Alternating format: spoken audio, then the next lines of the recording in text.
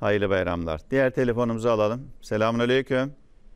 Aleyküm selam hocam. Hayırlı günler, hayırlı e, Bayramlar. Cumhuriyetimizin yüzün- Şimdi e, Malat- Malatya- Malatya'dan mı Evet. arıyoruz?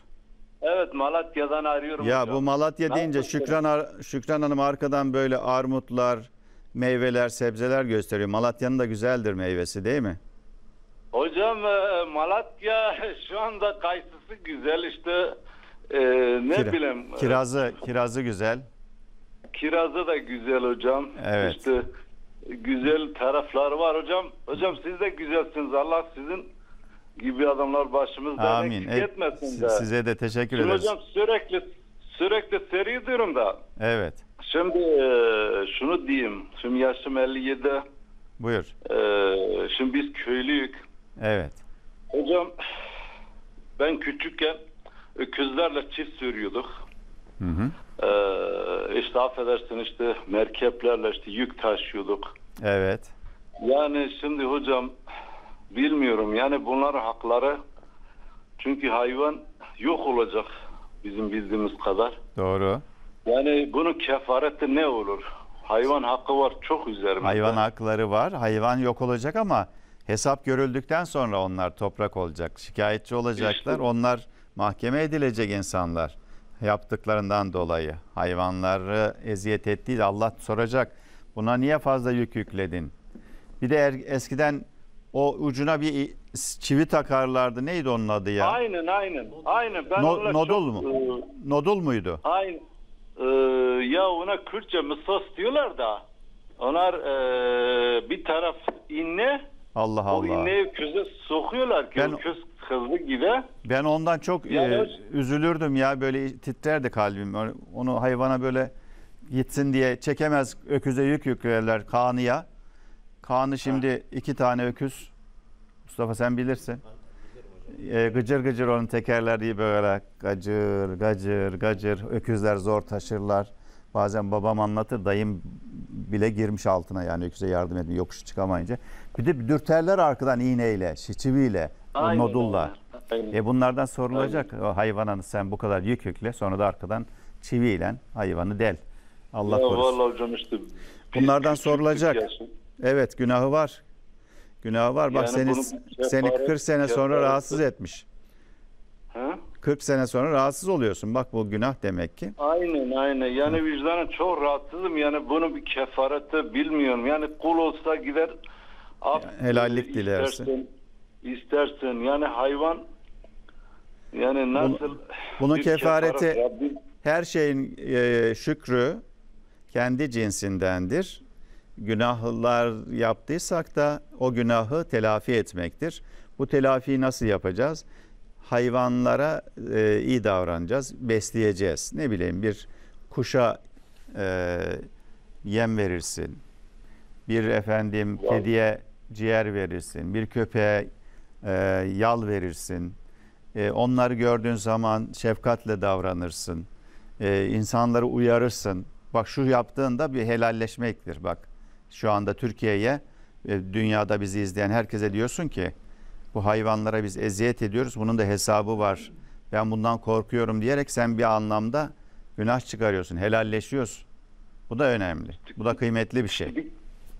işte bir kefareti olmadığı için e, hani ben size soruyorum. Kefareti kefareti o hayvanlara iyilik yapacaksın. Yani iyilik yapacaksın. Evet. Hastasını hasta hayvanları tedavi ettireceksin. Aç olanları doyuracaksın. Hayvanları sulayacaksın. Bir hayvana su içirmek bazen günahların affına sebep olabiliyor. Bunları daha önce anlatıyoruz. Rabbim yardımcın Hocam olsun. Amin amin hocam. Allah razı olsun. Teşekkür ederim. Sizlerden de hayırlı bayramlar, hayırlı pazarlar diliyorum. Efendim Evet. Hayırlı günler. yüz günahı silen yüz günahı silen bir duayı Peygamber Efendimiz Aleyhisselatü Vesselam Ebu Hureyre radıyallahu anh'a öğretiyor. Diyor ki kim bu duayı okursa sabah ya da akşam bu duayı okursa on köleyi hürriyetine kavuşturmuş, azat etmiş gibi sevap kazanır. Başka 100 derece kazanır. 100 defa sevap kazanır. Başka 100 defa günahı silinir. 100 günahı silinir. Başka şeytanın aldatmasından, ivasından o kişi mahfuz olunur. Ekrana verebilirseniz iyi olur arkadaşlar. Buradan bizim hatırlatmamız mı gerekiyor? Siz de e, onu anında yanında vermelisiniz. İnsan, insanlar bakıyor çünkü ekrana bakıyorlar. E, o duayı okusunlar, e, kaydetsinler. Resulullah Efendimiz Aleyhisselatü Vesselam kim bu duayı akşam ya da sabah okursa onu bu sevapta hiç kimse geçemez buyuruyor. Bu yaptığı e, işten dolayı kimse bunu geçemez. Bu dua nedir? La ilahe illallahu vahdehu la şerike leh lehül mülkü ve lehül hamdu ve ala kulli şeyin kadiri yüz defa söylerse. Kim bu duayı bir akşam ya da sabah yüz defa söylerse yani yüz defa La ilahe illallahu vahdehu la şerike leh lehül mülkü ve lehül hamdu ve huve ala kulli şeyin kadir diye söylerse o insan yüz günahı silinir, yüz derece kazanır ve o insan on köle azat etmiş olur. Akşama kadar şeytanın aldatmasından korunmuş olur ve onu o gün bu duayı yapmayanlardan hiç kimse geçemez. Böyle mübarek bir duadır. Allahu Teala günahlarımızı silsin. Bir daha söyleyelim.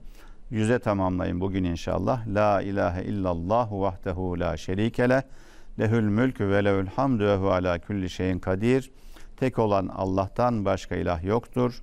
Onun ortağı yoktur. Mülk O'nundur. Hamd O'nadır. Onun her şeye gücü yeter. Manası bize aslında manası bir şeyler söylüyor. Diyor ki bugünlerde Gazze'ye bomba yağdıran İsrail'in arkasında onu destekleyen Amerika'nın çok güçlü olduğunu zanneden zavallı insanlar, zavallı Müslümanlar. Allah'tan başka ilah yoktur. Onun ortağı yoktur. Mülk onundur. Hamd onundur. Onun her şeye gücü yeter. Kem min fiyetin galiletin galebet fiyeten kesiraten biiznillah. Nice az gruplar var ki Allah'ın izniyle çokça sayıda fazla olanlara galip gelmiştir. Müslümanlar hep zaferi azken kazandılar. 300 kişi Bedir'de 313 kişi bin kişilik kafire karşı kazandı. Hendek'te 3000 tane Müslüman 10 bin tane kafire karşı kazandı.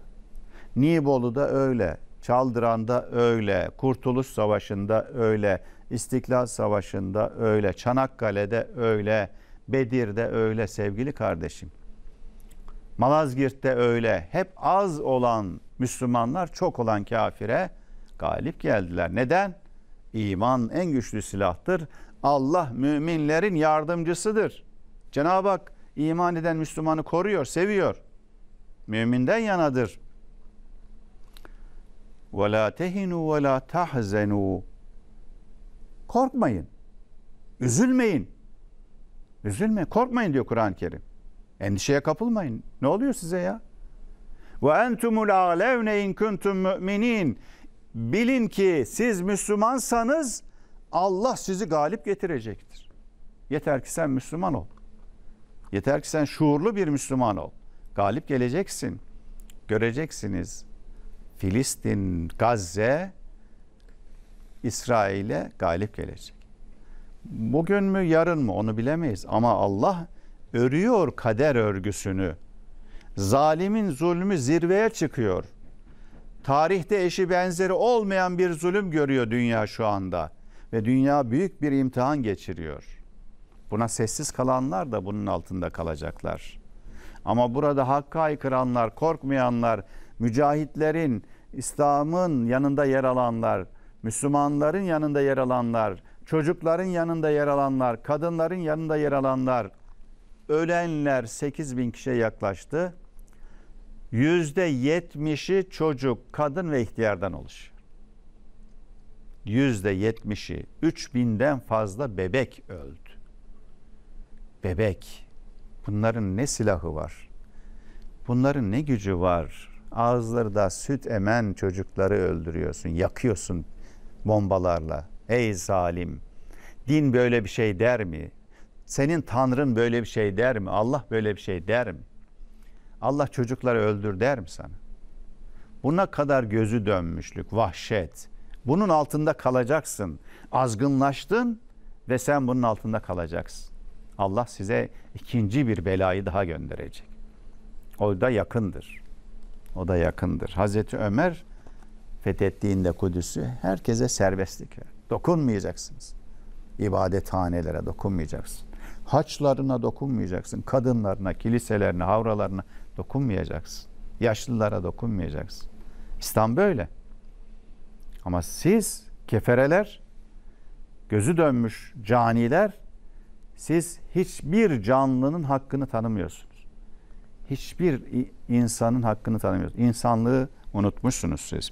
Daha fazla video izlemek için kanalımıza abone olabilir, ilk izleyen olmak isterseniz bildirimleri açabilirsiniz.